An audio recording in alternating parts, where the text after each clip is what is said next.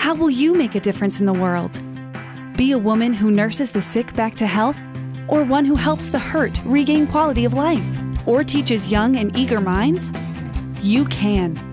But you don't have to be a woman. Kennebec Valley Community College courses train you for in demand careers. Careers many mistakenly thought just for women. Enroll, enrich, achieve.